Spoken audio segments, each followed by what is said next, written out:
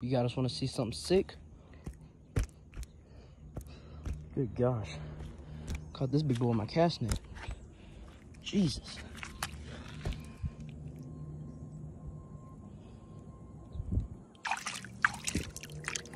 Off my boy goes.